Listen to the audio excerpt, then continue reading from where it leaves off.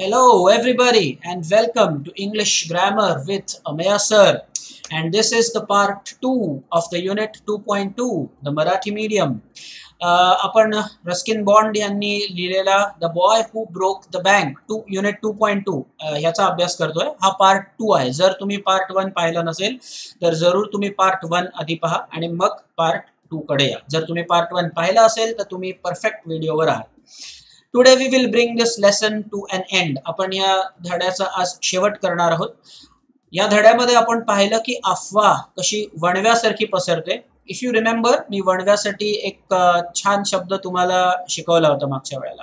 Do you remember conflagration conflagration हा सुंदर शब्द शिकलो होतो आपण म्हणजे वाईल्ड फायर नथूला पगार मिळाला नाही. नथू म्हणतोय की नथू एक स्वीपर कर्म सफाई कर्मचारी आहे स्वीपर बॉय. नथूला त्याचा पगार मिळाला नाहीये म्हणून तो दुसऱ्या नोकरीच्या शोधात आहे. ही एक वार्ता जी आहे ही एक बातमी जी आहे ती गावभर म्हणजेच पिंपळनगरमध्ये पसरत चालली आहे. आणि प्रत्येक माणूस त्याच्यामध्ये स्वतःचा वितर्क जोडत आहे. आणि अशा प्रकारे आता पूर्ण पिंपळनगरमध्ये एक अफवा आहे की पिंपळनगर बँक बुडत जाणार आहे. आणि सगळे लोक आता आपापले पैसे काढून घेण्यासाठी बँकेकडे गर्दी करतात.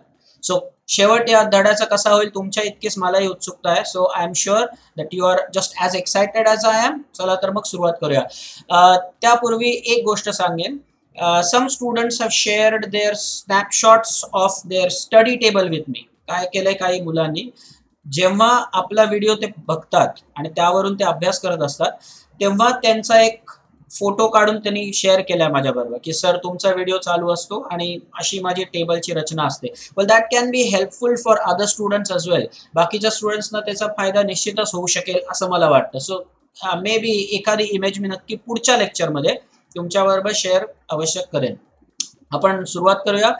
I think this is the slide where we stop the last time माझ्या मते ही शेवटची स्लाइड आपण अभ्यासली होती आणि मला चांगलं आठवतं की ज्युलर हा उच्चार आपण शिकलो होतो. ज्वेलर नाही ज्युलर हा उच्चार होता. चला तर मग सुरुवात करूया. या स्लाइडपासून. जेव्हा मी वाचत असेन मी नेहमीच सांगतो तुम्हाला की मला तुमचं शंभर टक्के अविभाजित लक्ष द्या. हे फार महत्वाचं असतं. When I read it you can read it with me in your mind but don't be occupied with anything else so guys let's get started let me get my red pen for myself. Here we go old Ganpat the beggar had a crooked leg crooked म्हणजे bent किंवा twisted त्याचे पाय थोडेसे bent होते. त्याला एक बाक होता. इथे क्रुकेड शब्द उच्चार महत्त्वाचा आहे. Crooked he had a crooked leg एक याचक होता. रस्त्यावरचा एक भिकारी होता. च्या पायाला एक बाक होता. And he had been squatting on the pavement for years पदपथावर ज्याला आपण फुटपाथ म्हणतो तिथे हा गणपत नेहमी पडून असायचा आणि ऑफकोर्स तो येणाऱ्या झाडांकडे पैसे मागायचा. लोकांना ह्याविषयी पण शंका होती की त्याला धड चालता येत नसेल. कारण का आपण धड्यात हे पुढे आता पाहूच पुढच्या दोन लाईनीमध्ये की त्याला कोणतरी नेहमी हातगाडीवर किंवा कुठल्या तरी छोट्याशा गाडीत कोणतरी येऊन बसवायचं आणि त्याला घेऊन जायचं. सो असा हा एक इम्पॉर्टंट कॅरेक्टर या लेसन मधला Ganpat. Remember we are doing all the characters या लेसनमधले सगळे कॅरेक्टर्स सुरुवातीपासून होपफुली तुम्हाला आठवत असतील. सो आता ह्याच्यापर्यंत पण ही वार्ता पोहोचणार आहे की बहुतेक बँकेत पुरेसे पैसे नाही आहेत स्क्वॉटिंग हा शब्द महत्त्वाचा आहे guys unlawfully occupying a place unlawfully occupying a place अनधिकृतपणे एखाद्या जागेवरती हक्क सांगणे. जसं ती काय त्याला नेमून दिलेला स्टॉल नाहीये याचना करण्यासाठी. पण तो तिथेच पदपथावर आहे. पेव्हमेंट म्हणजे फुटपाथ असा ढोबळ अर्थ आहे. कॉलिंग फॉर आर्म्स गाईस हा शब्द बघून घ्या. Arms A L M S arms L silent आहे guys A L M S त्याच्यामध्ये एल हे जे अक्षर आहे ते सायलेंट आहे. आर्म्स आर्म्स नाही म्हणायचं. आर्म्स असं अन्य एक उदाहरण पटकन आठवत आहे जिथे ए एल आहे आणि एल सायलेंट आहे. क्ल्यू देतो ड्रायफ्रूट करेक्ट आमंड्स बदाम. आमंड्स आल्मंड्स नाही म्हणत. Almonds spelling A L M O N D S almonds बरोबर? एल सायलेंट आहे. तसंच ह्याचा अर्थ बघून घेऊया आपण. शब्द आहे आर्म्स चॅरिटेबल डोनेशन जी देणगी आपण देतो, मदत आपण जी करतो, त्याला आर्म्स म्हणतात. सो तो तिकडे आर्म्स मागत होता लोकांकडे. तो याचकच होता, जसं मी सांगितलंय. नाव आहे Ganpat. In the evening someone would come with a barrow barrow म्हणजे ही अशा प्रकारची गाडी. जसं मी आधीच सांगितलं की लोकांना अगदी दया यायची त्याची की बहुतेक बहुधा त्याला चालताही येत नसेल. रोज कोणतरी यायचं आणि त्याला त्या बॅरोमध्ये कार्टमध्ये त्या बसून घेऊन जायचं. तो स्वतः चालत असेल की नाही याविषयी एक डाऊट होता. याविषयी एक मोठा विनोद नंतर घडणार आहे. पाहूया. He had never been known to walk लोकांनी त्याला चालताना कधी पाहिल्याचं आठवत नव्हतं. But now on learning the bank was about to collapse Ganpat astonished त्याला आश्चर्याचा मोठा धक्का बसला. अस्टॉनिश्ड एव्हरी वन त्याला धक्का तर बसलाच हे ऐकून पण त्यांनी लोकांना पण आश्चर्याचा धक्का दिला. He astonished everyone leaping to his feet and actually running at top speed in the direction of the bank तुम्ही इमॅजिन करून पहा की काय अवस्था लोकांची झाली असेल. हा जो याचक आहे वर्षानुवर्ष तिथे आहे पडून तो पैसे मागतो. लोकांना वाटतं की ह्याला चालताही येत नसेल. बँकेची ही वार्ता त्याच्या कानावर पडल्यावरती हा उठला आणि हा धावत गेला. You can imagine what the people must have thought डोळ्यापुढे आणा. कमाल आहे की बहुतेक ह्याचंही खातं आहे तिकडे. जसं मी मागच्या भागाच्या शेवटी बोललो होतो. Maybe he also has an account there in the bank but फारच लोकांना हा मोठा आश्चर्याचा धक्का आहे. पिंपनगर बँक बुडीत निघते त्याच्यापेक्षा मोठा धक्का मला असं वाटतं हा आहे. So he actually was running at top speed in the direction of the bank it soon became known that he had a thousand rupees in the savings कमाल आहे. गणपत नावाचं या याचकाचं खातं आहे. पिंपळनगर बँकेत त्याचे एक हजार रुपये आहेत तिकडे एक हजार रुपये. आणि म्हणून त्यालाही एवढं एवढा मोठा धक्का बसलाय की तो हे विसरला की तो काय अभिनय करत होता सगळ्यांसमोर आणि तो उठला आणि चक्क बँकेमध्ये धावत गेला ज्याला चालता येत नाही असा लोकांचा समज होता.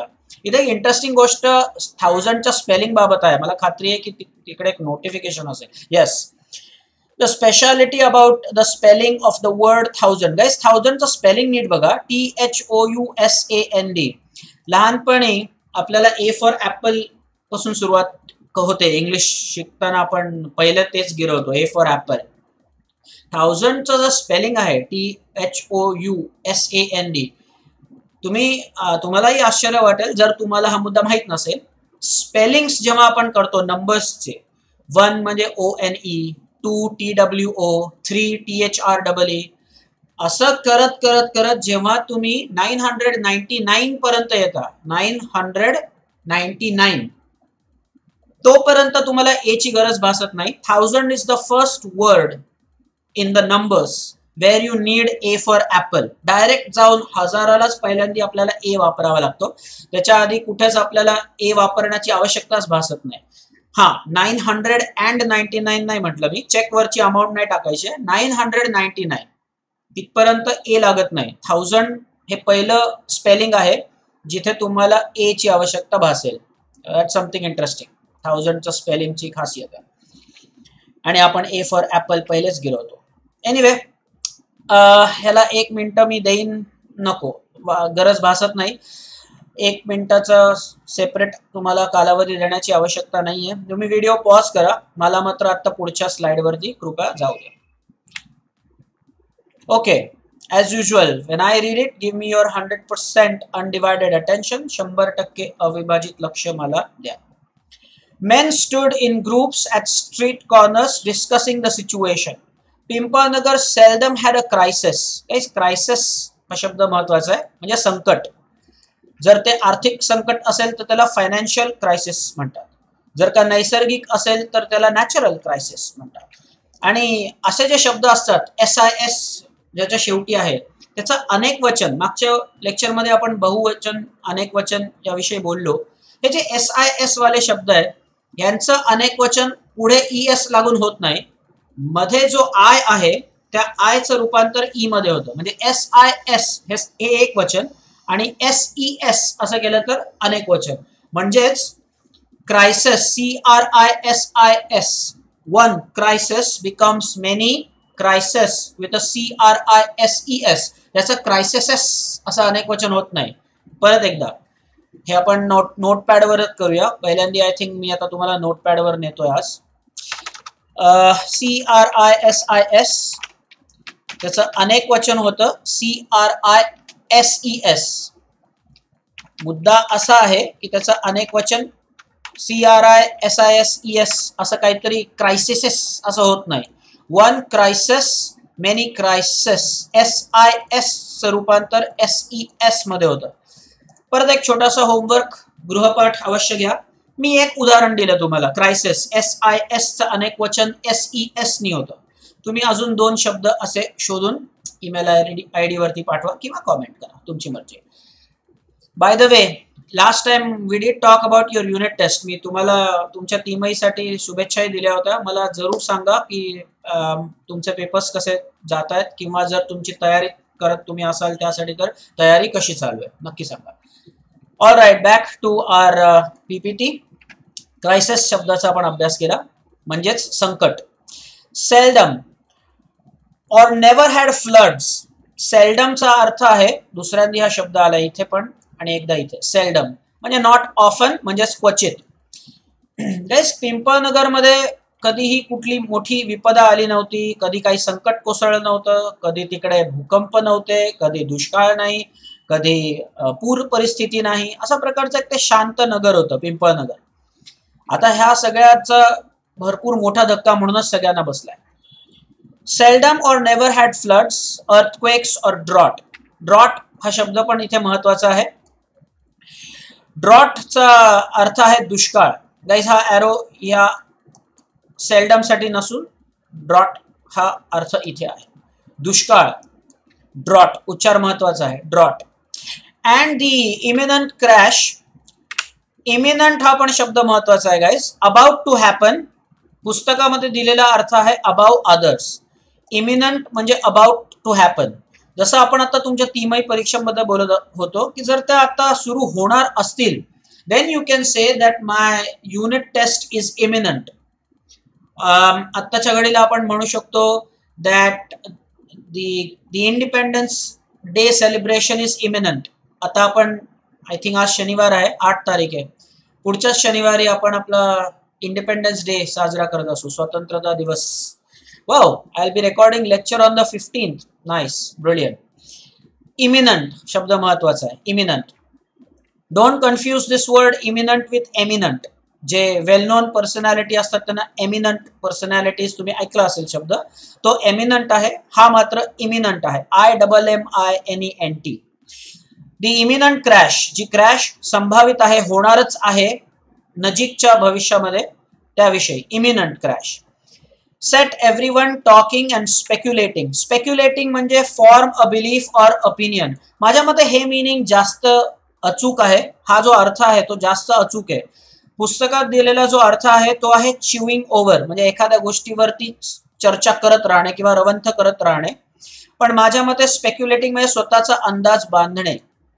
Someone who is into share market as a trader मला माहिती आहे की स्पेक्युलेशन आम्ही करत असतो. म्हणजेच की एखादा स्टॉक फार वर जाईल किंवा खाली जाईल ह्याविषयी तुमचं एक अभ्यास किंवा धोरण किंवा धारणा जी असते त्या अनुषंगाने तुम्ही मार्केटमध्ये तुम्ही इन्व्हेस्ट करता. That is called speculation so सगळ्यांचा आपापला एक अंदाज होता.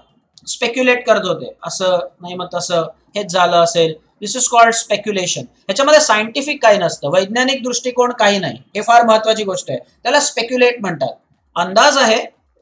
थोडाफार गोष्टींचा एक अनुमान घेऊन केलेलं एक ठरवलेलं एक स्वतःचं असं मत.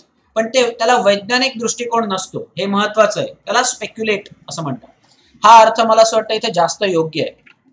Your textbooks textbooks give the meaning chewing over and rushing about in a frenzy frenzy म्हणजे अनकंट्रोल्ड वाईल्ड बिहेवियर फ्रेन्झी तुम्हाला आठवत असेल लहानपणी जेव्हा तुमचा वाढदिवस असेल आणि काही तुमच्या आईवडिलांनी खास एखादा उपहार दिला असेल तर ते कधी एकदा मी ते गिफ्ट बॉक्स जे आहे पॅकिंग जे आहे ते उघडतोय. फ्रेंडझी अनकंट्रोल्ड वाईल्ड बिहेवियर इथे मात्र असा आनंदाची फ्रेंडझी नाहीये. इथे अनकंट्रोल्ड बिहेवियर लोकांचं होत आहे कारण का सगळ्यांनाच त्यांचे पैसे आता काढून घ्यायचे कोणाचाच बँकेवरती विश्वास उरला नाही. सगळ्यांनाच एक खात्री पटली आता की पिंपळनगर बँकेचं काही खरं नाही. सगळे निव्वळ अफवा आहे. And that's why we saw it in the last lecture की असं अफवा पसरवणे म्हणूनच हा गुन्हा आहे सामाजिक गुन्हा आहे आणि हे बरोबर नाही आहे त्याने भयाचं एक वातावरण निर्माण होतं. असं करू नये. ओके. सम बोस्टेड आता काय? बोस्टेडचा अर्थ काय? Show off talk with excessive pride अहंकाराने बोलणे जसं काही स्वतःला फार आपण जेव्हा मोठं समजतो आपण इन द सेन्स आपण तसे नाही आहोत. पण एखादा माणूस जर स्वतःला खूपच कोणतरी मोठा व्यक्ती समजत असेल बढाई मारत असेल तर त्याला इंग्लिशमध्ये शब्द आहे बोस्ट का काही लोक बोस्ट करत होते? त्यांच्या ज्ञानाविषयी. बघूया. Some boasted of their farsightedness काही जणांना अभिमान होता की मी कसं दूरदृष्टी कशी मी दूरदृष्टी दाखवली आणि वेळेत पैसे माझे काढून घेतले. आत्ता सुद्धा मी सांगतो की ही अफवा आहे हे विसरू नका. ही निव्वळ अफवा आहे. बँक खरं बुडालेली नाहीये बँकेवर कुठलंही आर्थिक संकट नाहीये ही निव्वळ अफवा आहे. तरी काही लोक ज्या गोष्टी घडतायत त्याकडे बघून स्वतःची पाठ थोपटून घेत आहेत. ते म्हणतात की मी बघा अशी दूरदृष्टी दाखवली वेळेतच पैसे काढून घेतले. They boasted of their farsightedness भविष्यामध्ये बघण्याची जी एक कला आहे फार सायटेडनेस म्हणतात त्याला. इथे अर्थ बघूया काय आहे फार सायटेडनेसचा long sighted ability to see the future ability to see the future ability नाही गाईस अबिलिटी उच्चार आहे ability to see the future congratulating themselves on having already taken out their money or on never having put any in दोन गोष्टींचा त्यांना अभिमान होता. जसं मी म्हटलो एक तर हा अभिमान होता की वेळेस त्याने पैसे काढून घेतले स्वतःचे किंवा मग काही लोक ह्याही बाबतीत अभिमान बाळगत होते स्वतःबद्दल की या खा या बँकेमध्ये मी कधी खातं उघडलंच नाही. कारण का माझा या बँकेवर कधी विश्वासच नव्हता. त्या बाबतीत ते ते खूप खुश आहेत. ते स्वतःला धन्य मानतायत की मी किती योग्य निर्णय घेतला होता. ओके पुढे जाऊया.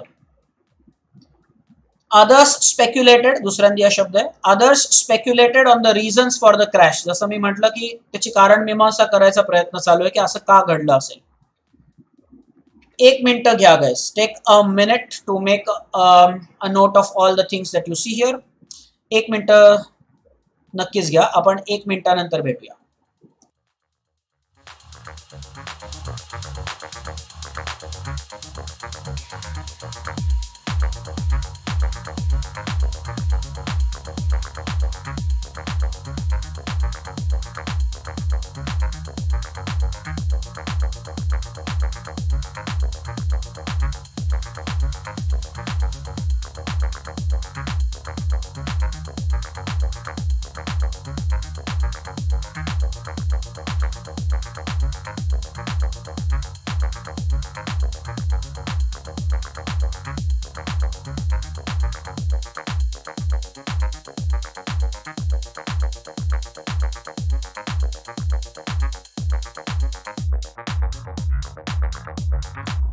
Under 10 seconds now.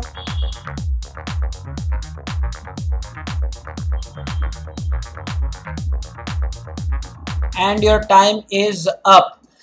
Guys पुढे जाण्यापूर्वी हा जो सेल्डमसाठी जो बॉक्स होता तो रिपिटेशन ह्या फिगर्स ऑफ स्पीच साठी आहे तुम्ही बघू शकता की एकाच ओळीत सेल्डम हा शब्द दोनदा आला आहे सो भाषेचा अलंकार रिपिटेशनसाठी ही एंट्री आहे seldom the word seldom is repeated for a better effect better poetic effect नव्हे बेटर इफेक्ट चला पुढे जाऊया. Putting it all down to excesses indulged in by indulged इनचा अर्थ आहे बिकम इन्व्हॉल्ड इन समथिंग कुठल्याही गोष्टीत फार जास्त इन्व्हॉल्ड असणे. सेठ गोविंदराम. सगळ्यांचा असा अंदाज होता की जो सेठ गोविंदराम यांचं जे उधळपट्टी करण्याचा एक जो स्वभाव आहे त्यामुळेच बँकेची ही अवस्था झाली आहे. The Seth had fled the state the Seth had fled the state identify the tense काळ ओळखा असा प्रश्न असू शकेल. पास्ट परफेक्ट टेन्स हॅड अधिक व्ही थ्री म्हणजे पास्ट पार्टिसिपल मूळ शब्द आहे फ्ली म्हणजे पळून जाणे. फ्लेड हा त्याचा पास्ट पार्टिसिपल आहे. द सेट हॅड इथे सेट गोविंदरामबद्दल आपण बोलतोय. Seth had fled the state past perfect tense. He had fled the country हा सुद्धा past perfect tenses आहे. Said another he was hiding in Pimpalnagar said a third. लोकांचं लोकांचे अनुमान बघा कसे आहेत. एक म्हणतो आहे की त्यांनी राज्य सोडून दिलं आहे तर दुसरा म्हणतो की त्यांनी देशच सोडून दिला आहे. तर तिसऱ्याचं असं मत आहे की पिंपळनगरमध्येच कुठेतरी लपून बसलं आहे. सत्य काय आहे ते एकालाही माहीत नाहीये. परंतु ते असंच अनुमान काढतात तर्कवितर्क लढवतात. He had hang himself from the tamarind tree said the fourth आणि चौथ्याने तर त्याला अक्षरशः कैलासवासी केला आहे. ही हॅड हँग मला आठवत आहे आपण हँग वरती चर्चा सविस्तर पहिल्या पार्टमध्ये केली होती. हँग हँग हँग आणि hang hung hung H U N G पण भूतकाळ असतो आणि H A N G dub E D असा पण भूतकाळ असतो. तर इथे आता हा हँग शब्द आहे.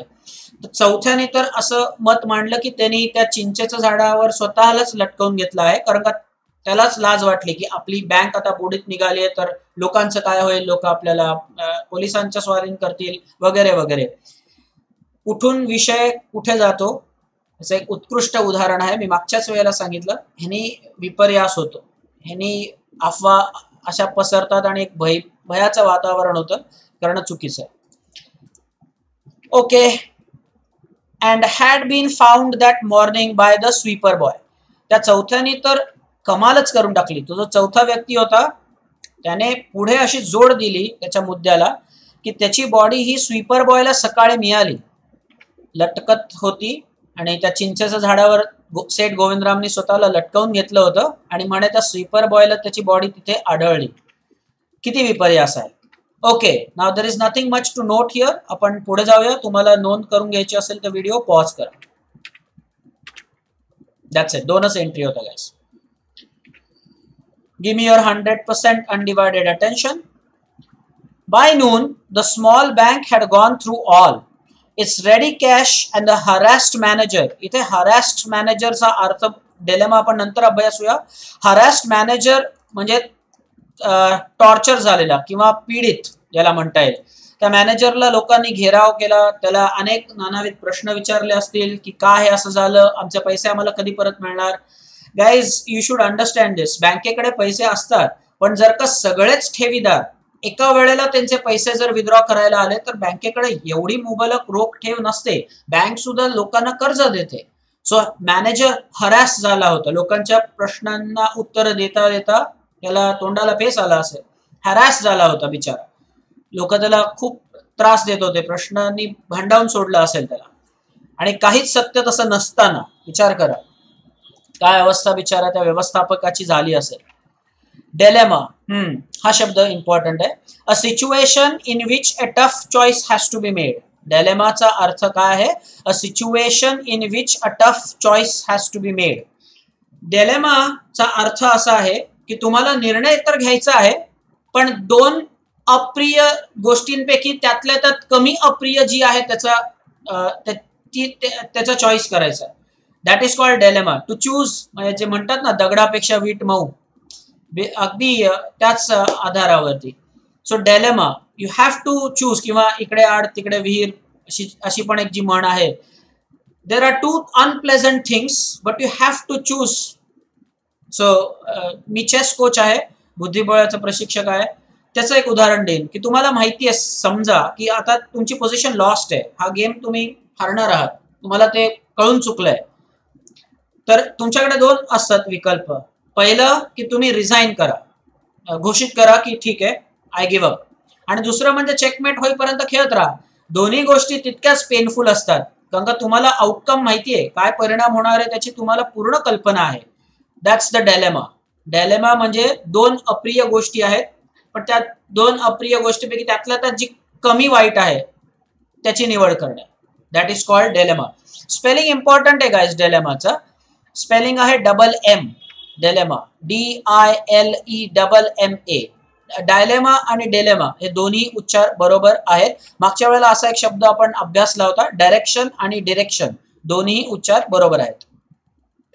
Emergency funds could only be obtain काय झाला ऑप्टेन उच्चार नका करू अपटेन करा अ अ अमेय मधला अ obtain obtain from another bank some thirty miles distance and he wasn't sure he could persuade the crowd to wait until then persuade चा अर्थ आहे make someone believe something make someone do something manager अगदी पूर्ण परिपूर्ण प्रयत्न करत होता. लोकांना समजावून सांगत होता की बँकेवरती कुठलंही आर्थिक संकट नाही. आपण निश्चिंत असावे. पण लोक ऐकायलाच तयार नव्हते. सो म्हणूनच तो हरॅस्ट होता जसं आपण पाहिलं. त्याला वाटलं नव्हतं की तो कुठल्याही प्रकारे आता परसुएड करू शकेल लोकांना की तुम्ही थोड्या वेळानंतर या. तुम्हाला पैसे तुमचे काढा काढून घ्यायचे आहेत विथड्रॉ करायचे आहेत. काहीच समस्या नाहीये पण थोड्या वेळाने या. सगळ्यांनी जर एकदम गर्दी केली तर ते बँकेला शक्य होणार नाही. त्यावर मला असं वाटतं लोकांचा आता असून अजूनच विश्वास बसेल या गोष्टीवरती की म्हणजे खरोखर यांच्याकडे पैसेच नाहीयेत. One thing leads to another जे इंग्लिशमध्ये म्हणतात त्याचं एक एक्सलंट एक्झाम्पल आहे. One thing leads to another एका गोष्टीवरून दुसरं दुसऱ्यावरून तिसरं आणि ह्या लोकांनी सुतावरून स्वर्ग गाठला पुढे जाऊया. And there was no way of contacting Seth Govindram on his houseboat in Kashmir. Guys, तुम्ही जर काश्मीरला कधी गेला असाल तिकडे अशा तुम्हाला हाऊसबोट्स दिसतील. डाल लेक वरती वगैरे त्यांना शिकारा म्हणतात. If I am not wrong त्यांच्यासाठी शब्द आहे शिकारा. ते असा हाऊस बोट्स असतात. तर तिकडे सेठ गोविंदराम होते. आपण मागच्याच वेळेला पाहिलं. शब्द होता holidaying Seth Govindram was holidaying in Kashmir if you remember अशी एक ओळ होती. त्यामुळे त्यांना कॉन्टॅक्ट करणं शक्यच नव्हतं. आणि माझं असं ठाम मत आहे की हा एक जुना लेसन आहे. रस्किन बॉन्ड यांनी लिहिल्या पण बरीच वर्ष झाली असेल. तुम्हाला आठवत आहे की नथूचं जे पगारवाढ आपण बोलत होतो ती दोन रुपयाची आहे. तुम्ही इमॅजिन करू शकता की तेव्हाची गोष्ट असेल ती. आणि म्हणून माझा आत्ता पण असा अंदाज आहे की सेलफोन्स नसतील. त्यामुळे सेठ गोविंदरामना संपर्क करण्याचा काहीच मार्ग नव्हता. त्यामुळे ते संकट अजूनच मोठं झालंय आता. हाऊस बोट्स मात्र बघून घ्या I am sure if you have ever been in a houseboat मला कमेंट्समध्ये नक्कीच सांगा. जास्त एंट्रीज नाही आहेत गाईस पुढे जाऊया. तुम्ही वाटल्यास पॉज करा नोंद करून घ्या आणि मग तयार झाल्यावर व्हिडिओ रिझ्यूम करा. मोठा परिच्छेद आहे. शंभर टक्के अविभाजित लक्ष मला द्या. सुरू करूया.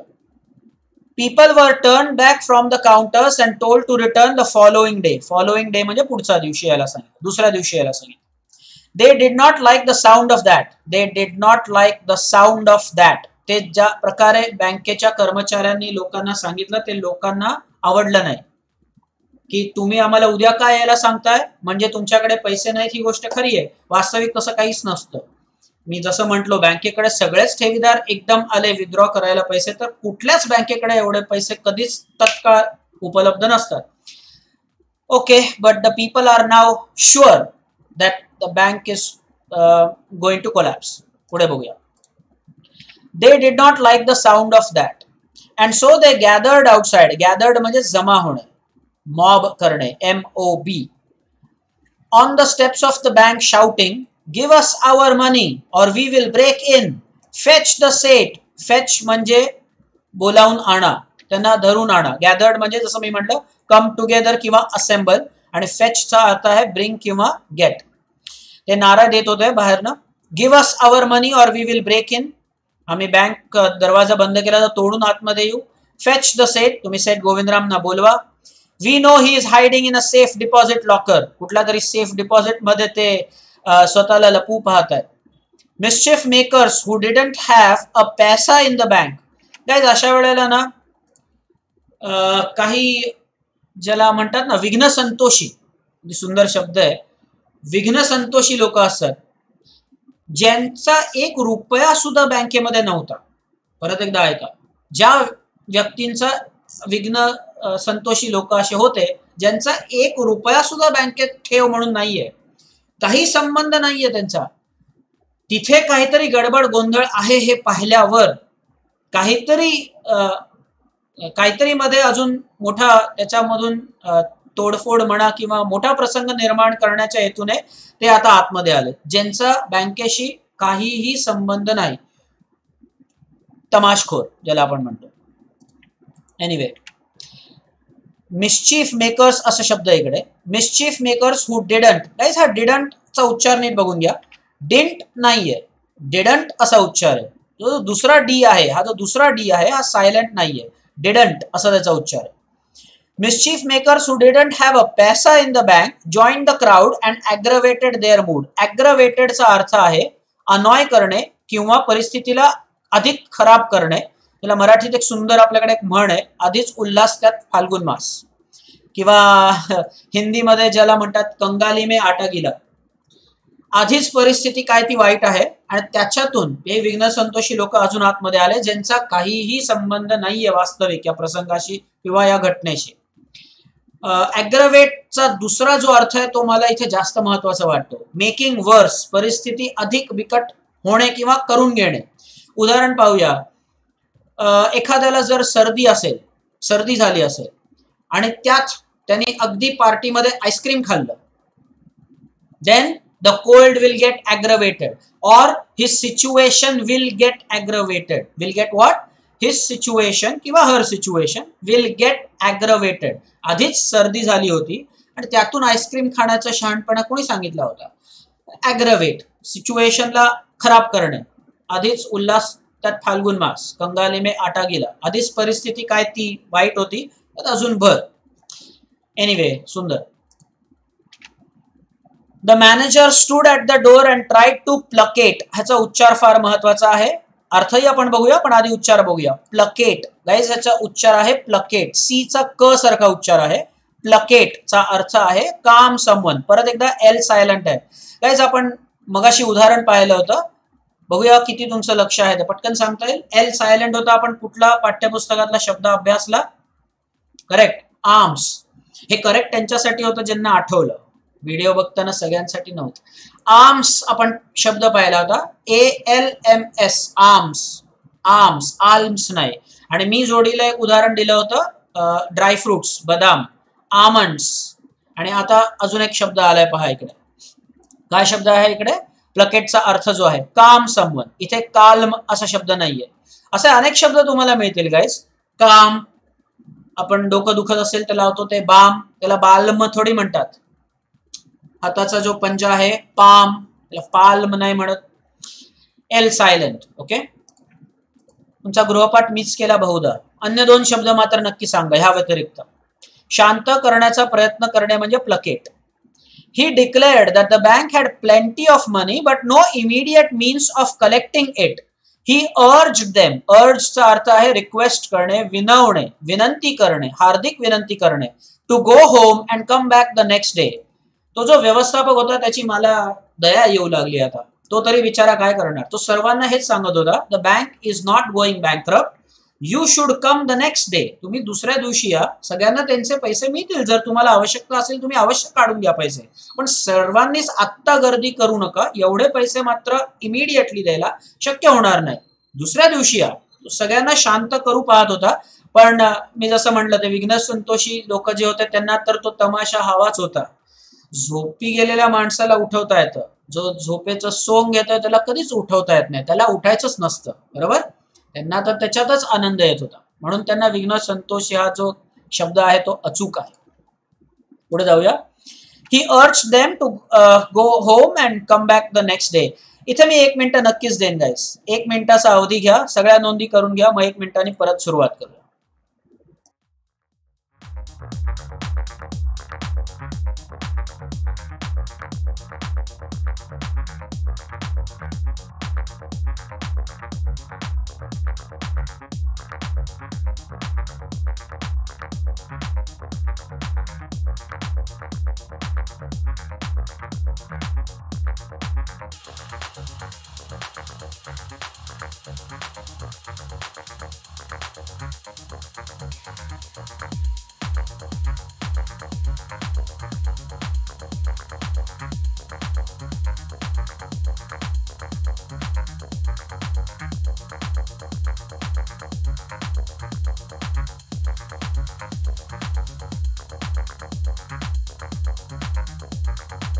Under 10 seconds now, guys.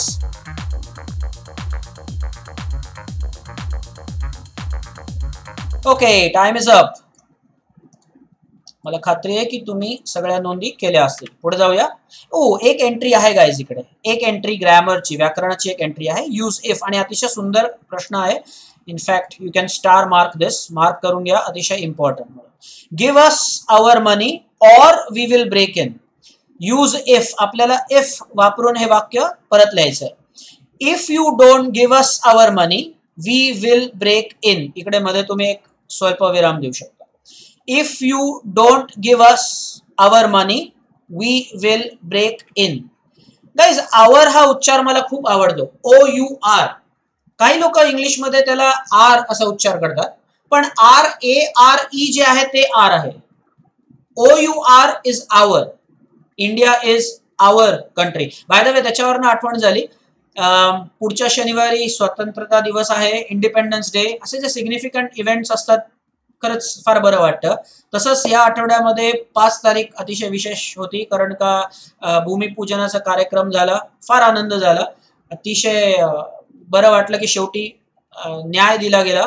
Was very happy that day आणि जे आनंदी होते त्यांच्यावर मी बेहद्द खुश आहे. जे आनंदी होते त्या दिवशी. न्याय शेवटी झाला. खूप आनंद झाला. तसंच पंधरा ऑगस्टला आता येईल. जास्त आनंद आता तेव्हा होईल जेव्हा ह्या करोना जे आहे कोविड नाईन्टीन जो प्रादुर्भाव आहे त्याच्यापासून आपल्याला जेव्हा मुक्ती मिळेल तेव्हा खरंच त्या त्याच्याहूनही जास्त आनंद होईल. असो पुढे जाऊया. स्लाइडवरच्या सगळ्या एंट्रीज बहुतेक झाल्या असतील फक्त एक ती व्याकरणाची एंट्री होती बाकी पुढे जाऊया. We want it now chanted some of the crowd चांटेडचा अर्थ बघूया काय? आणि परत एकदा इथे भाषेचा अलंकार एक रेप्युटेशन फिगर्स ऑफ स्पीच आहे. आधी ती सेल्डम या शब्दासाठी होती. नाव नाव नाव आत्ता म्हणजे आत्ता. आम्हाला आमचे पैसे हवे आहेत. चांटेड म्हणजे मंत्र उच्चार केल्यासारखा पुनरुच्चार करणे. परत परत एकच गोष्ट म्हणणे सांगणे नारा देणे. चॅन्टेड अटर्ड रिपीटेडली अटर असा शब्द आहे. अटर्ड रिपीटेडली सगळ्यांनी एकच मागणी लावून धरली की आम्हाला आमचे पैसे आत्ताच्या आत्ता हवे आहेत. अँड अ ब्रिक हर्टल्ड हर्टल्ड हा नवीन शब्द असू शकेल तुमच्यासाठी. Moved at a great speed एक वीट भिरकावली गेली. And crash through the plate glass window of the Pimpalnagar bank मला अगदी खात्री आहे की ही जी वीट भिरकावली गेली असेल ती त्या विघ्न संतोषी लोकांपैकीच एकाचं हे कारस्थान असेल. ज्यांना हंगामच करायचा होता. सो एक वीट बँकेच्या दिशेने भिरकावली गेली आणि बँकेचं आता बहुतेक नुकसान होणार आहे. कारण का लोक आता संतप्त झालेले आहेत आणि त्यात सुद्धा जे विघ्न संतोषी लोक आहेत ते अगीत तेल आगीत तेल ओतण्याचं काम करतात पुढे जाऊया. Is there any other entry on this slide no video तुम्ही पॉज करू शकता. रेप्युटेशन एक फिगर्स ऑफ स्पीच आहे. नाव नाव नाव आत्ता म्हणजे आत्ता. दॅट्स इट पुढे जाऊया. Nathu arrive next morning to sweep the steps of the bank he saw the refuse काय हा शब्द? एवढा महत्त्वाचा आहे. आणि त्याच अनुषंगाने आता आपण हेटोरोनिम्सचा अभ्यास करूया if you remember the last time we discuss what are homophones आपण होमोफोन्सचा अभ्यास मागच्या वेळी केला होता. असे शब्द ज्यांचा उच्चार समान असतो परंतु स्पेलिंग आणि अर्थ वेगळे असतात. आठवत असेल तुम्हाला? सन आणि सन एक उदाहरण मी दिलं होतं. आता ह्या स्लाइडवर परत जाऊया आपण. इथे बघा काय आहे. R E F U S E पण उच्चार आहे रेफ्यूज म्हणून हे मी मराठीत इथे लिहिलं आहे रेफ्यूज नाही म्हणणे त्याचा उच्चार असतो रिफ्यूज नीट बघा. इथे शब्द जो आहे तो आहे रेफ्यूज रे रेफ्यूज आणि जो नाही म्हणतो आपण इन्कार करणार जो आहे भाई ते आहे रिफ्यूज ओके रेफ्यूज आणि रिफ्यूज यांचं स्पेलिंग समान आहे पण उच्चार वेगळा आहे. परत एकदा स्पेलिंग चक्क सेम आहे तरी पण उच्चार वेगळा आहे. सन आणि सनमध्ये आपण जे मागचं उदाहरण पाहिलं त्याच्यामध्ये स्पेलिंग भिन्नता आहे स्पेलिंगमध्ये. स्पेलिंगमध्ये भेद आहे. इथे R E F U S E आणि R E F U S E spelling same असून सुद्धा उच्चार वेगळा आहे. रिफ्यूज आणि रेफ्यूज आणि अर्थही वेगळा आहे. अशा शब्दांना आज त्याचा आपण अभ्यास करतोय. असे जे शब्द आहेत त्यांना हेटोरोनिम्स असं म्हणतात. मी एक छान उदाहरण अजून तुम्हाला इथे दिलंय. मिनिट आणि त्याच स्पेलिंग वरून मायन्यूट मायक्रोस्कोप खाली आपण जेव्हा बघतो तेव्हा मायन्यूट ऑब्झर्वेशन करतो. आणि साठ सेकंदाचा कालावधी म्हणजे एक मिनिट बरोबर? स्पेलिंग बघून घ्या. काहीच भेद नाहीये. M I N U T E M I N U T E म्हणजे असे शब्द आता व्याख्या बघा. असे शब्द ज्यांचे स्पेलिंग सारखे असते परंतु उच्चार आणि अर्थ वेगळे असतात. त्यांना म्हणायचं हेटरोनिम्स मागच्या वेळेला आपण अभ्यासले होते होमोफोन्स त्यामुळे ह्या शब्दाचा उच्चार जरी तुमच्या शाळेत चुकून शिक्षकांनी रिफ्यूज असा केला तरी तुम्ही ते मानण्यास रिफ्यूज करू शकता कारण का त्याचा वास्तविक उच्चार रेफ्यूज असा आहे. आपल्या ज्या म्युनिसिपल गाड्या जातात सकाळी कचरा गोळा करतात त्यांच्यावर लिहिलंही असतं रेफ्यूज कलेक्टर ते रिफ्यूज कलेक्टर नाही त्यांनी रिफ्यूज करून फायदा नाहीये ते रेफ्यूज त्यांनी घेतलं पाहिजे. रेफ्यूज कलेक्टर असा उच्चार आहे. रिफ्यूज नाही रेफ्यूज जसं मिनिट आणि मायन्यूट स्पेलिंग एक समान असून सुद्धा. असं एक छान उदाहरण देतो. मागच्या वेळेला आपण बोललो होतो की मराठी मुलाने खास करून इंग्लिश खूप छान बोललं पाहिजे. ते एक उदाहरण लक्षात घ्या. तुमच्या कामी येईल ते. रिफ्यूज आणि रेफ्यूजच्या आर ई वरनं आठवण झाली मला. रिझ्युम आणि रेझ्युमे काय शब्द आहेत? रिझ्यूम आणि रेझ्युमे रिझ्यूम म्हणजे परत सुरुवात करणे आणि रेझ्युमे म्हणजे तुमचा बायोडेटा ज्याच्यावर तुमचं नाव तुम्ही जेव्हा जॉब अप्लाय करता तेव्हा तुमचं नाव पत्ता एज्युकेशन तुमचं जे क्वालिफिकेशन आहे शैक्षणिक पात्रता तुम्ही लिहिता तुमचे छंद त्याच्यात लिहिता. दॅट इज रेझ्युमे सो ऑफिसमध्ये कधीही तुम्हाला रिसेप्शनवर सांगण्यात येईल. तुम्ही फ्युचरमध्ये हे लक्षात ठेवा. Submit your resume resume April नंतर जो महिना येतो मे. चक्क चक्क रेझ्युमे असा त्याचा उच्चार आहे. रेझ्युमे आज आपण याविषयी चर्चा करूया की असे काही टिकी शब्द आहेत ज्यांचे उच्चार तुम्हाला माहीत पाहिजे. म्हणजे एम्बॅरेसिंग मिस्टेक्स होणार नाही आणि खूप छान इम्प्रेशन तुमचं पडेल. हे लक्षात ठेवा. R E S U M E resume आणि त्याच स्पेलिंगनी रेझ्युमे म्हणजे तुमचा बायोडेटा ठीक आहे? पुढे जाऊया. Heteronyms he saw the refuse and the broken glass and the stones cluttering the steps cluttering म्हणजे जमा होणे. थिंग्स लाईंग अनटायडली अस्ताव्यस्त जे पडले होते काचेचे तुकडे दगड जे लोकांनी दगडफेक केली असेल.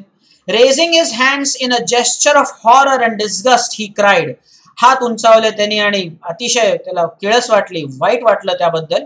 हुलिगन्स हुलिगन्स इथे जेस्चर आधी अभ्यासूया actions conveying feelings or ideas gesture म्हणजे आपल्या कृतीतून आपण जे लोकांना जो संदेश देतो त्याला जेस्चर म्हणतात. बोलून नव्हे आपल्या कृतीतून त्याला जेस्चर म्हणतात.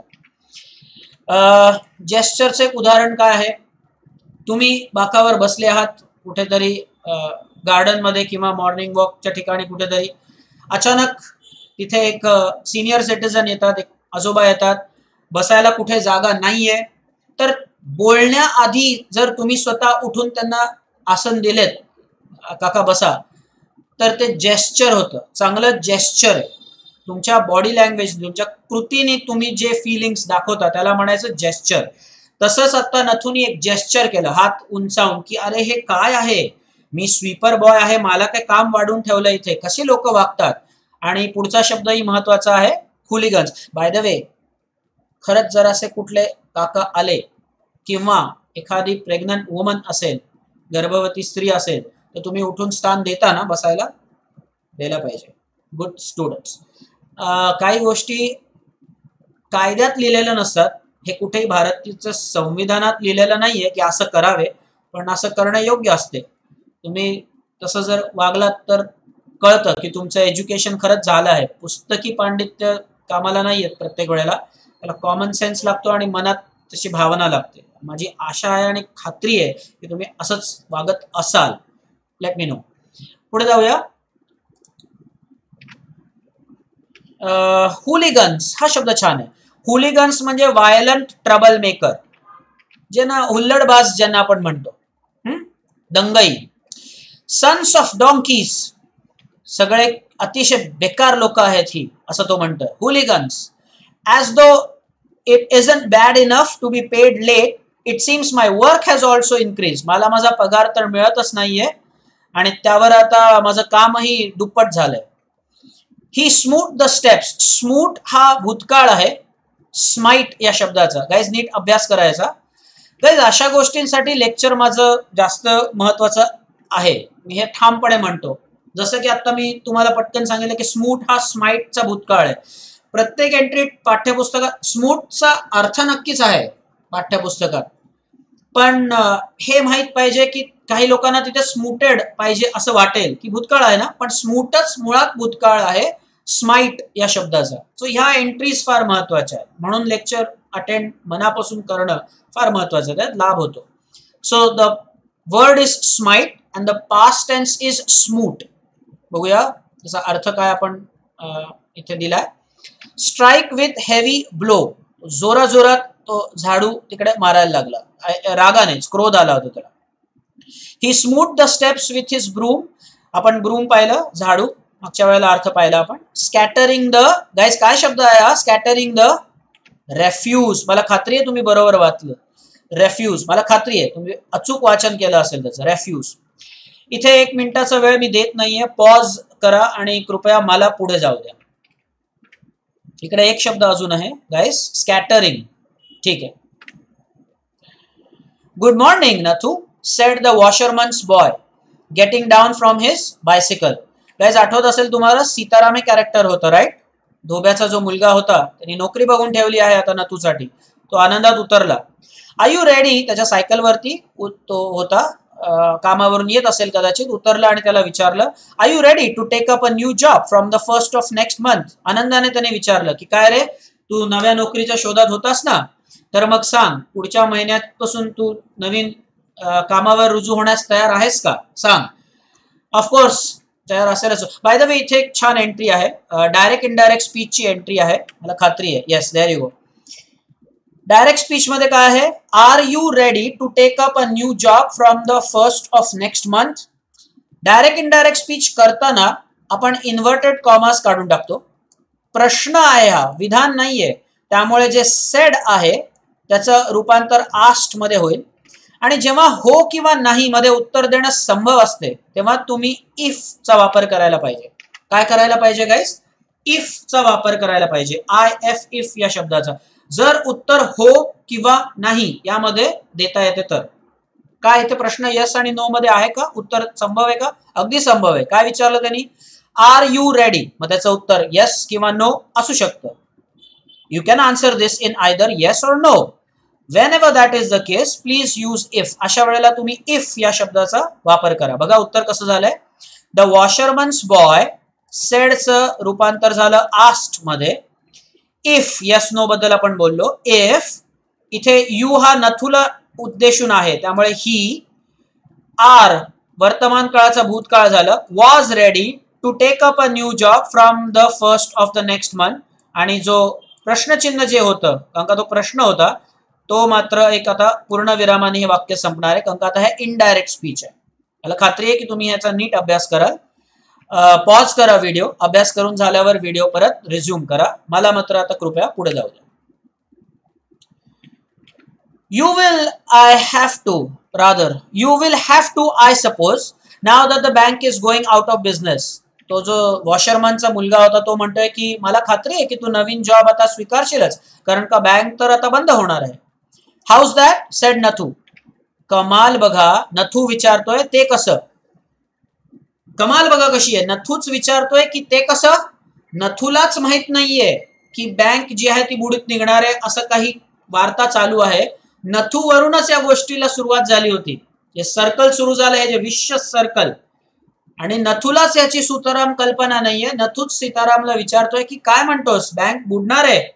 त्यावरनच या कथेस प्रारंभ झाला होता. अशी गंमत असते. म्हणून जे आपल्या आपल्याला ठामपणे खात्रीलायक सांगता येतं त्यावरच आपण विचार केला पाहिजे आणि जे आहे तसं तेच आणि तेवढंच बोललं पाहिजे. यावरून मी एक छान इन्सिडेंट सांगेन तुम्हाला. काही वर्षांपूर्वी असं एका सेलिब्रिटी बद्दल पण झालं होतं. एक वय झालेले एक सेलिब्रिटी त्यांचा मेसेज सर्क्युलेट व्हॉट्सअपवर होत होता की ते गेले. त्यांचं निधन झालं.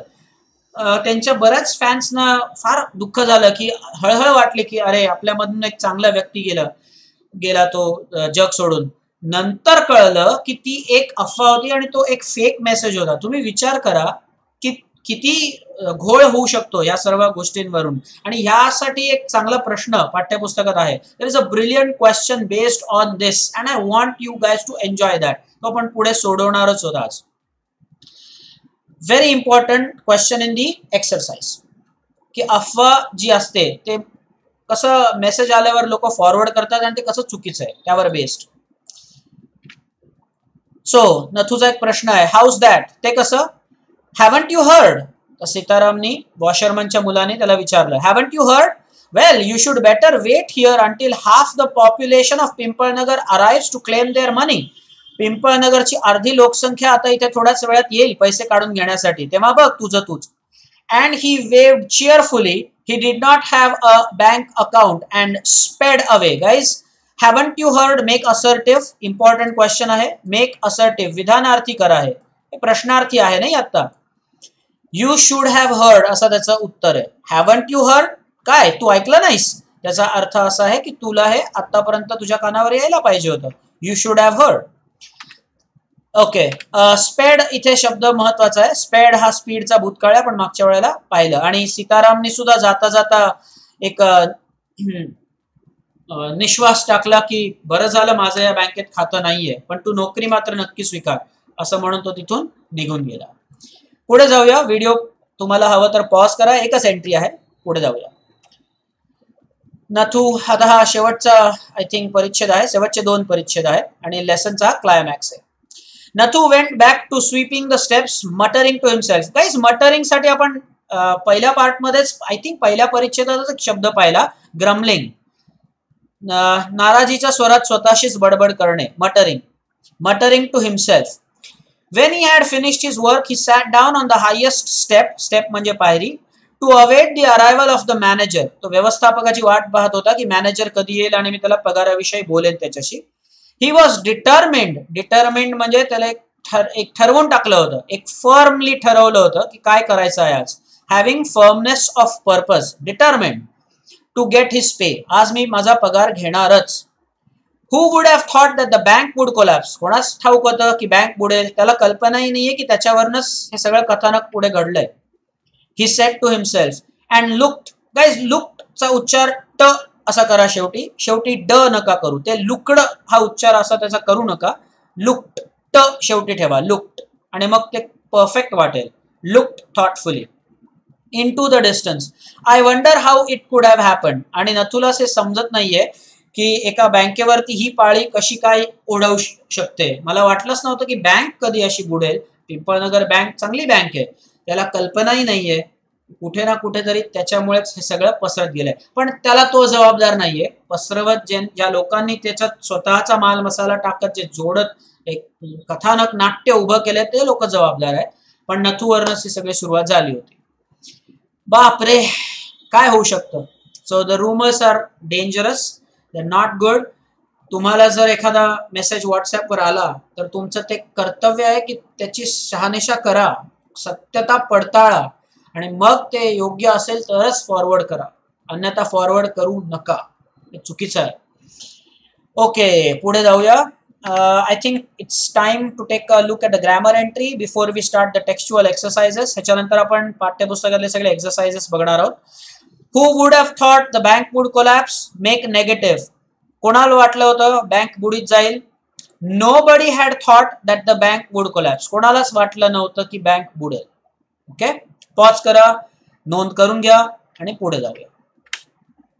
गाईज एक चिन्ह इथे मला शिकवायचं तुम्हाला. एलिप्सेस ऊ हे ही एंट्री चांगली आहे गाईज एलिप्सेस हे जे तीन सेट ऑफ डॉट्स आहेत ना जे कंटिन्युएशन दाखवायला ज्यांचा उपयोग होतो तुम्ही टीव्ही मध्ये सिरियल चालू झाल्यावर पाहिलं असेल आता पुढे. असं झाल्यावरती हे तीन डॉटचा एक सेट असतो. त्याला इंग्लिशमध्ये म्हणतात एलिप्सेस काय म्हणतात? एलिप्सेस असा शब्द आहे तो लक्षात ठेवा. एलिप्सेस तीन डॉट्स नाही. सेट ऑफ थ्री डॉट्स नाही. त्याला एक शब्द आहे. मी एक्सप्लेन करताना जसं जरूर त्याचा उपयोग केला पण त्याला एक नाव आहे एलिप्सेस असं म्हणतात. गाईज आपल्याकडे एक तास हिट करण्यासाठी कालावधी जो आहे तो सात मिनिटं आपल्याकडे आहेत. सो आपण चर्चा करूया. एक दोन मिनिटं फक्त चर्चा करूया. एका इम्पॉर्टंट विषयावर. आय थिंक आपण जो विषय आज घेणार होतो ते असे शब्द की ज्याच्यामुळे एम्बॅरसिंग मिस्टेक होऊ शकतात. मी एक उदाहरण फक्त देईन आणि मग टेक्स्च्युअल एक्सरसाइजेस वरती जाऊया आपण. ठीक आहे? कारण का टेक्स्च्युअल एक्सरसाइजेस सोपे आहेत. त्या टेक्स्च्युअल एक्सरसाइजला वेळ लागेल. फक्त त्याच्यावरच आपण विशेष सविस्तर चर्चा करू. नोटपॅडवर जाऊया. मला एक शब्द तुम्हाला आज अगदी शिकवायला आवडेल. हा शब्द नीट बघून घ्या. हा शब्द काय आहे? स्वीट या शब्दात असं काही जगा वेगळं काहीच नाही. स्वीट हा शब्द आहे. तुम्ही म्हणाल सर हे तर आम्हाला माहिती आहे पण पुढचा शब्द जो आहे त्याचा उच्चारही स्वीटच असतो पण चक्क चक्क त्याचं स्पेलिंग असतं S U I T E आता हे शिकण्यासारखं S U I T E आणि ह्याचा उच्चार स्वीट होतो. सूट किंवा स्वीटी असं काहीही होत नाही. स्वीट हाच उच्चार आहे. जसं गोड म्हणजे स्वीट तसंच एस यू आय टी ईचा उच्चार चक्क चक्क स्वीट होतो. आणि त्याचा अर्थ आहे एखाद्या पंचतारांकित हॉटेलमधली एखादी खोली.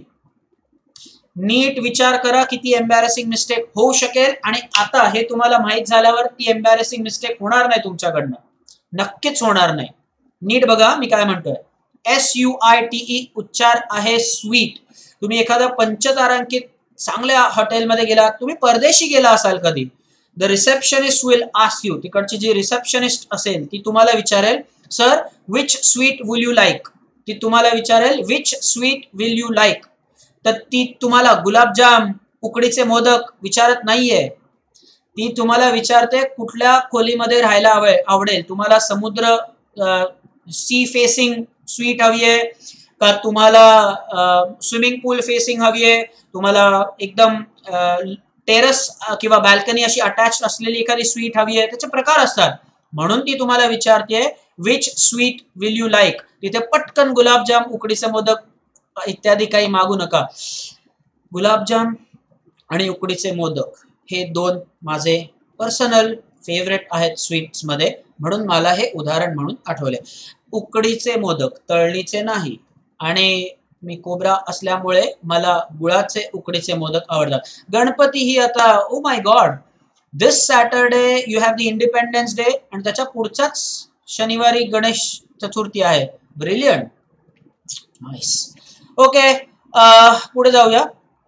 एलिप्सेस बोलत होतो आपण आणि त्याच्यानंतर मी तुम्हाला आता शब्द शिकवला. स्वीट गाईज ह्याचा उच्चार नीट लक्षात ठेवा. कुठेही एम्बॅरेसिंग मिस्टेक होणार नाही. उलट तुम्हाला बरं वाटेल की हा शब्द तुम्हाला माहीत होता. स्वीट असाच उच्चार करायचा असतो. जसा एस डब्ल्यू डब्ल्यू टीचा तुम्ही कराल. ओके एक निर्णय मी आता घेतोय. तो निर्णय असा आहे की एक वन आवर एक तास आपण रेकॉर्डिंग नॉर्मली करतो पण आता फक्त तीन मिनिटाचा आपल्याकडे कालावधी शेष आहे. तीन मिनिटात सगळे टेक्स्च्युअल एक्सरसाइज घाईघाईत मला करायचं नाहीये. तर हा व्हिडिओ कदाचित लांबेल कदाचित नाही निश्चितच लांबेल तुमचं मात्र सूत्र तेच ठेवा. तुम्हाला जेवढा वेळ असेल तेवढं एक दहा मिनिटं पंधरा मिनिटं एका वेळेला बघून हा व्हिडिओ तुम्ही संपवा. ठीक आहे? सो आजच्या साठी डेफिनेटली व्हिडिओ एक तासापेक्षा मोठा होईल. But I am sure you like it कारण तुम्हाला तर त्या पार्ट्समध्येच बघायचं आहे. जर तुम्हाला आवडत असेल तर तुम्ही एक संधही बघू शकता. म्हणजे तुमची.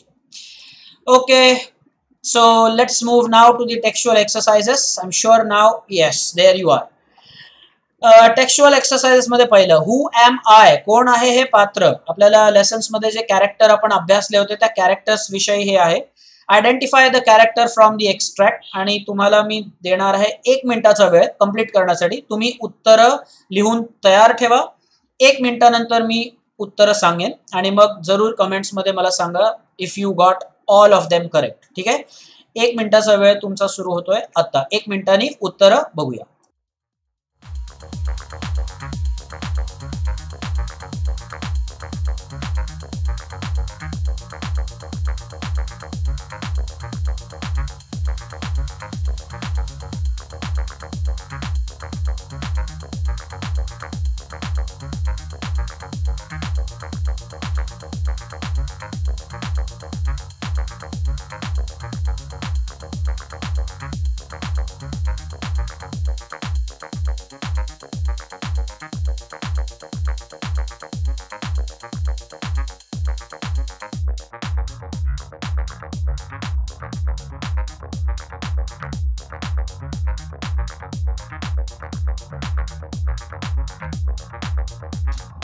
Under 10 seconds now.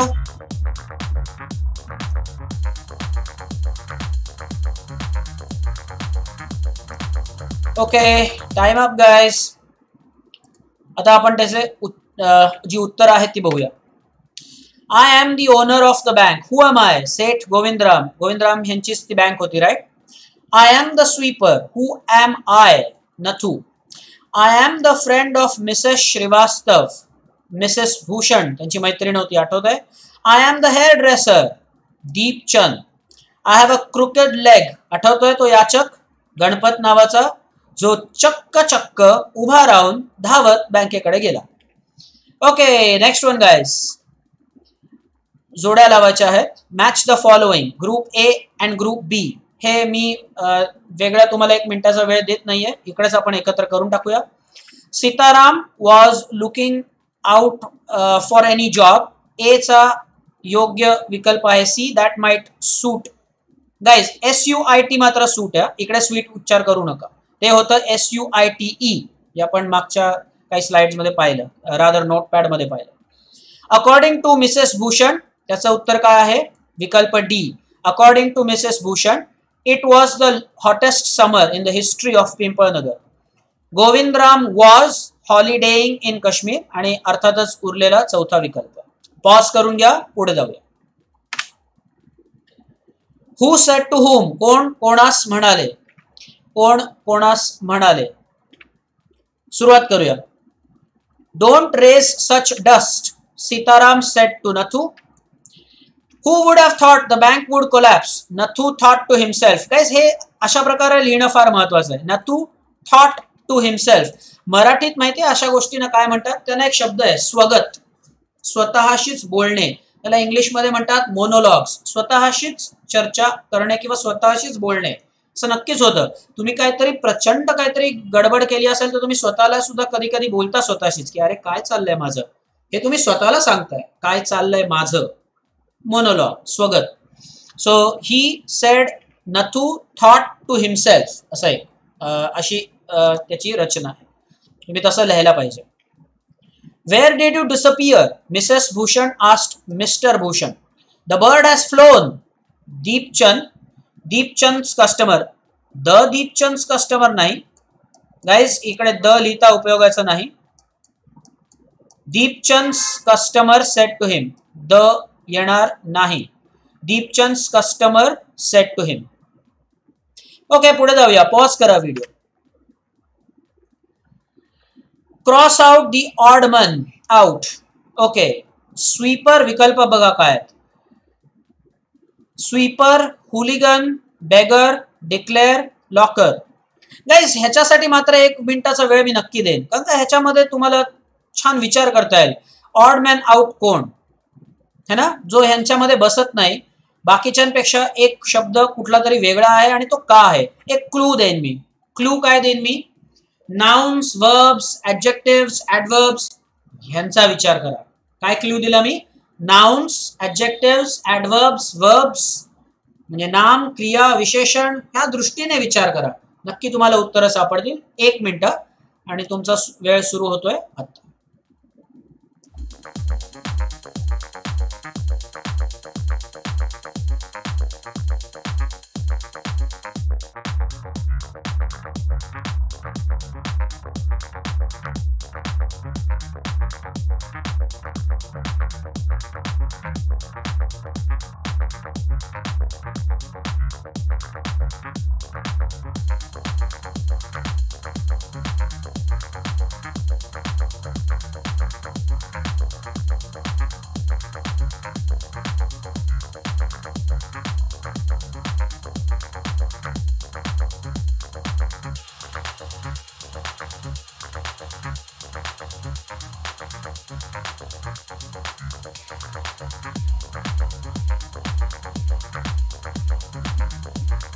शेवटचे पाच second. And your time is up guys your time is up hmm बघूया. पहिलं आहे डिक्लेअर डिक्लेअर हा ऑडमॅन आउट आहे. का? बाकीचे सगळे नाम रूपात आहेत बघा. Sweeper hooligan locker there all nouns declare हा मात्र क्रिया आहे. ही क्रिया आहे वर्ब आहे. That's why second salary odd man out is salary कारण बाकीचे सगळे ऍडव्हर्ब्स आहेत. एल वाय नी एंड आहेत. पण सॅलरी मात्र नामरूपात आहे नाऊन आहे. थर्ड पेमेंट हा ऑडमन आउट आहे. कारण का बाकीचे सर्व विशेषण आहेत. Eminent latest offer shocking payment मात्र पदपथ, म्हणजे नामरूपात आहे. चौथा मॉर्निंग हा ऑडमन आउट आहे. कारण का? बाकीचे क्रिया आहेत. स्कॅटर होणे रेज होणे कलेक्टिंग शाउटिंग मॉर्निंग नामरूपात आहे. जरी आय एन जीनी एंड होत असलं तरी. मला खात्री आहे तुम्हाला उत्तरं सापडली असतील. जर नसतील तर करेक्ट करून घ्या. पुढे जाऊया. कंप्लीट द फॉलोइंग टेबल थेट आपल्याला हे टेबल पूर्ण करायचं आहे. आपण लगेच हे करून टाकूया. पेमेंट दिलं आहे जे नामरूप आहे त्याचं वर्क फॉर्म काय येईल? सगळेच उत्तर एकदम पाहूया. पे हे क्रियारूप आहे.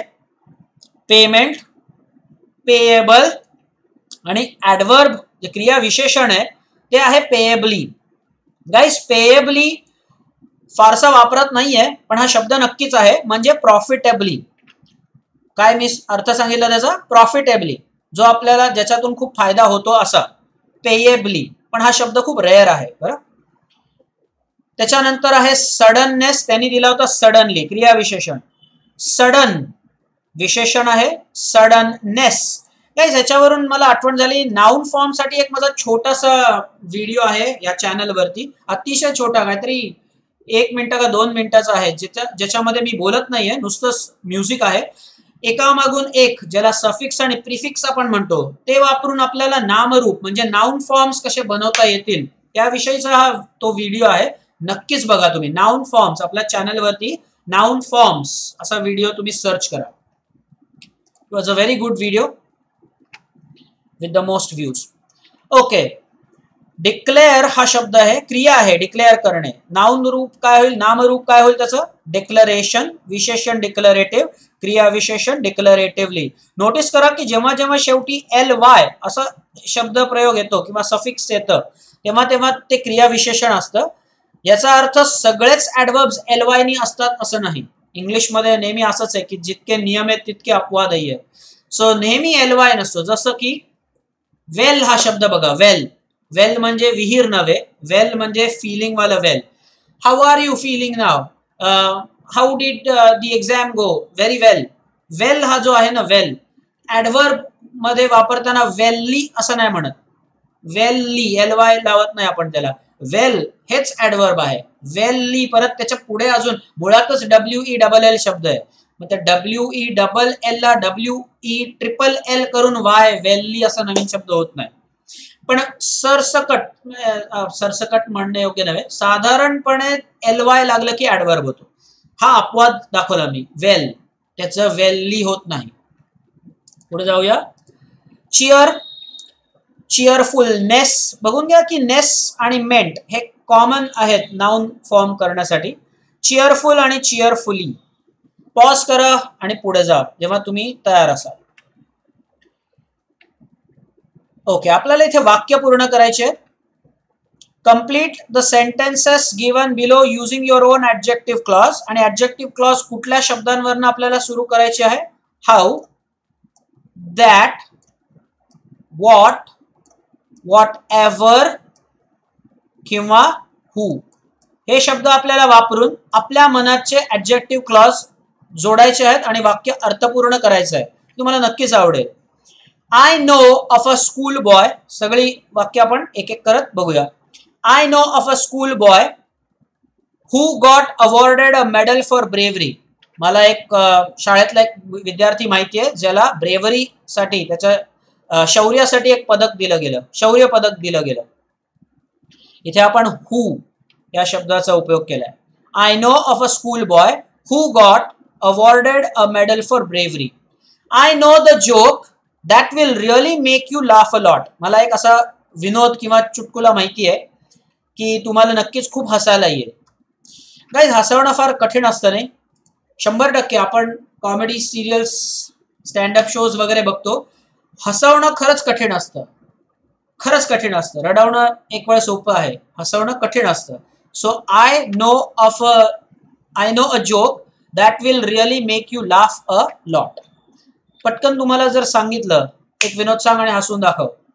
कित्येकांना ते जमणार नाही. म्हणून एक बोलणं विनोद सांगणं भाषेवर प्रभुत्व असणं ही एक कला आहे. एखादा व्यक्ती जेव्हा बोलत असतो तेव्हा तुम्हाला जर ऐकत राहावंसं वाटत असेल तर त्याच्याकडे ते प्रभुत्व आहे. त्याला चांगली वाणी आहे त्याच्याकडे. किंवा काही काही लोक असे असतात जे बोलायला लागल्यावर त्यांना आपल्याला सांगावं लागतं की बंद कर नको बोलूस.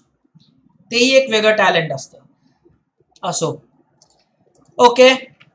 I know of a doctor who is reputed for his excellent diagnosis त्या डॉक्टरांचं डायग्नोसिस खूपच चांगलं आहे. त्यांना लगेच निदान करता येतं की नक्की काय झालं आहे. आणि त्यानुसार उपचारही उत्तम करता येतात असे डॉक्टर मला माहिती आहेत. I know of a place where you will get quality handicraft items मला अशी एक जागा माहिती आहे की जिथे क्वालिटी हँडीक्राफ्ट आयटम्स मिळतात. तर तिथे आपण नक्की जाऊ. शॉपिंगची आवड असणाऱ्यांसाठी चांगलं वाक्य शेवटचं I know the reason why we get along so well किती चांगली रचना आहे बघा. I know the reason why इथे आपण वाय हा शब्द वापरलाय. त्यांनी इकडे अजून विकल्प खाली दिले होते बाय द वे आपण भूला थांबलो होतो वाचताना. वेअर वाय आणि विच हे सुद्धा विकल्प इकडे आहेत.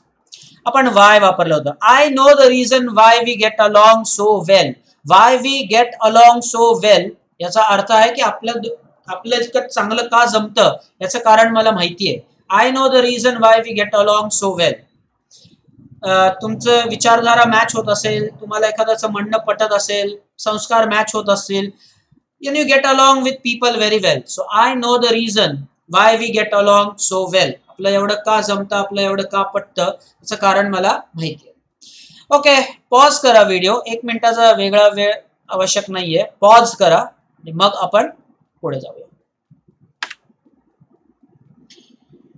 ओके यावर थोडा आपण वेळ नक्कीच घालू गाईस um, आपल्याला त्यांनी एक्सपांड करण्यास सांगितली एक आयडिया एक्सपांड थीम पहिलं आहे rumours are spread by fools and accepted by greater fools हा प्रश्न आहे तो ज्याविषयी मी आधी uh, बोलत होतो की अफवा पसरवण्याविषयीचा जो एक पाठ्यपुस्तकातला प्रश्न आहे तो हाच प्रश्न आहे.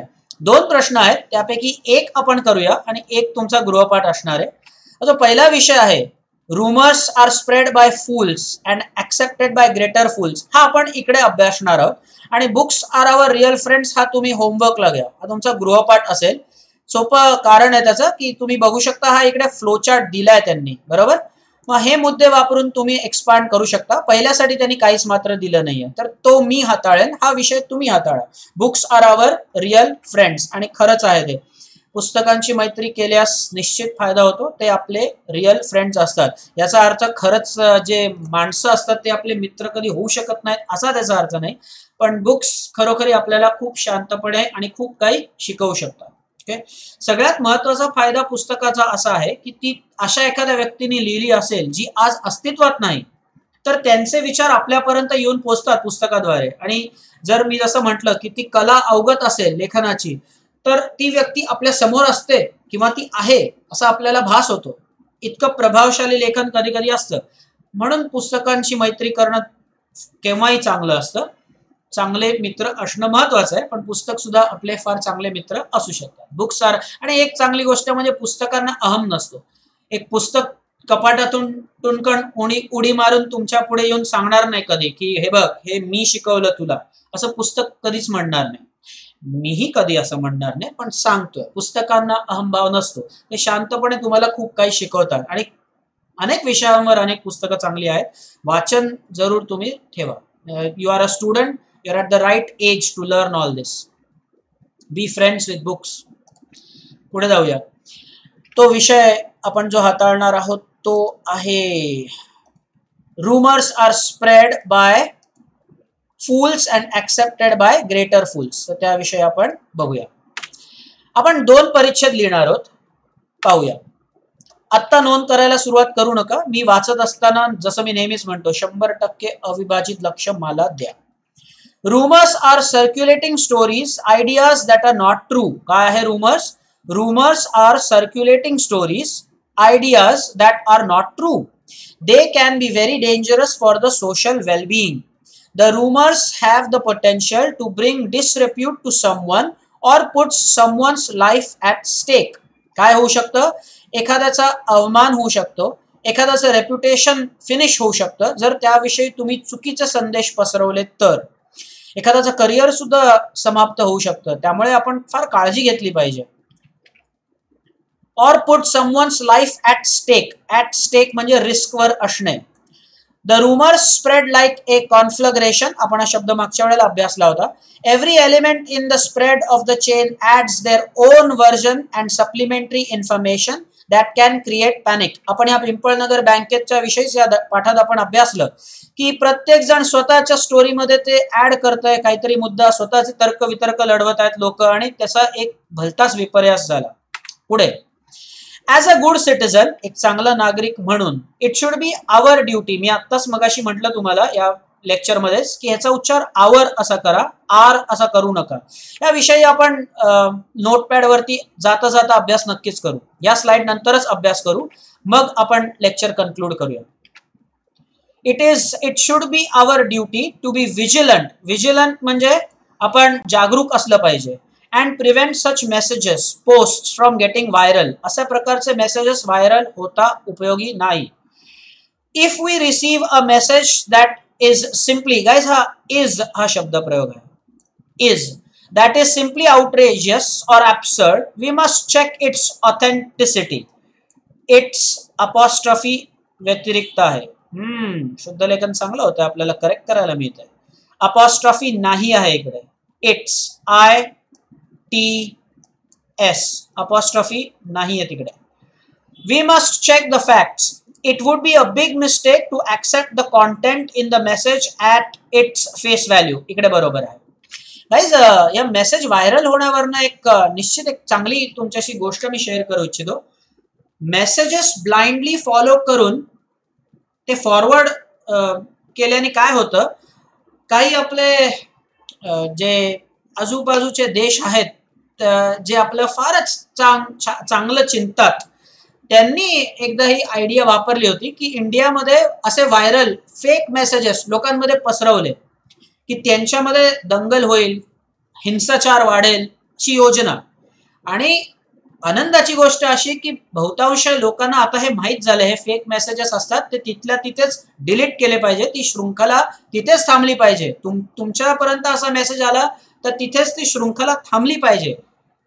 पण दुर्दैवाने कधी कधी हे मेसेज व्हायरल होतात आणि त्याच्यामुळे हिंसाचार होतो गैरसमजुती होतात.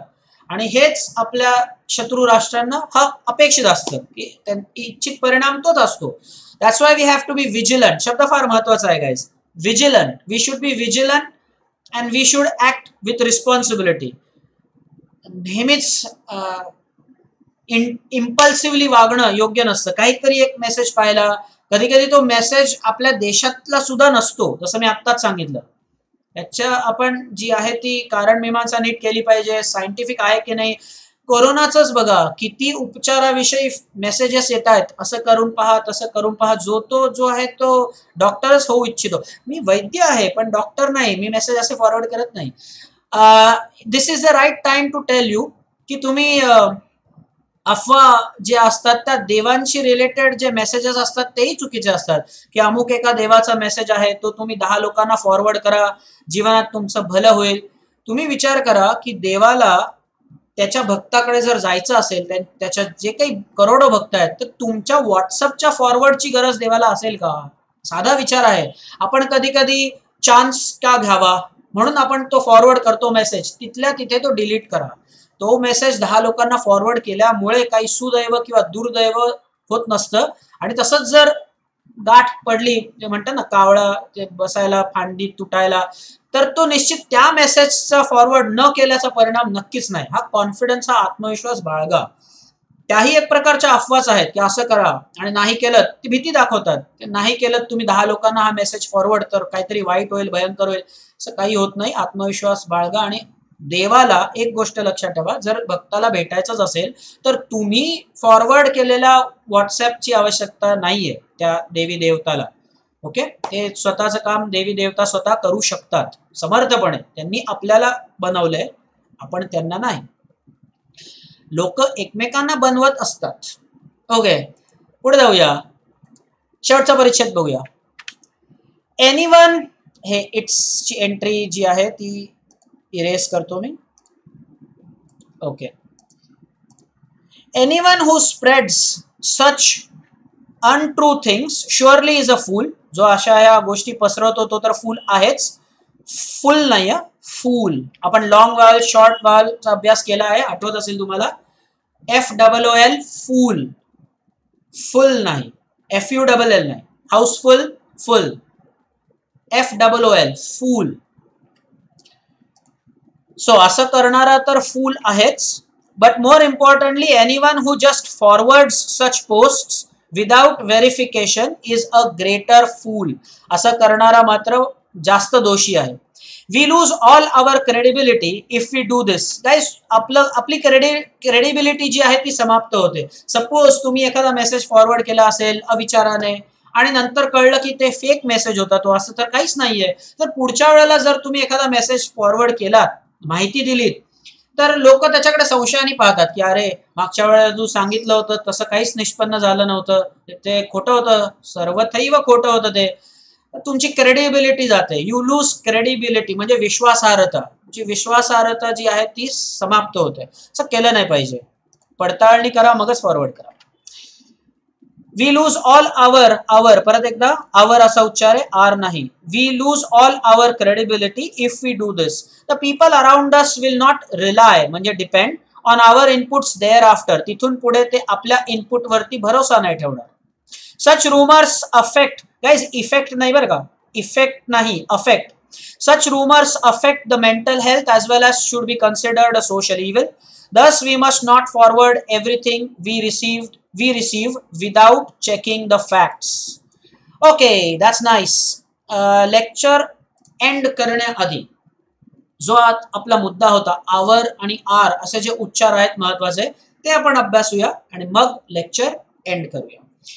नोटपॅड वरती जाऊया. बाय द वे परत एकदा त्या स्लाइड वरती जाऊया. तुम्हाला जर येस इथे तुम्ही पॉज करू शकता. तुम्ही तुमची जी काही नोंद तुम्हाला करायची असेल निश्चितच इथे तुम्ही ही नोंद करून घ्या.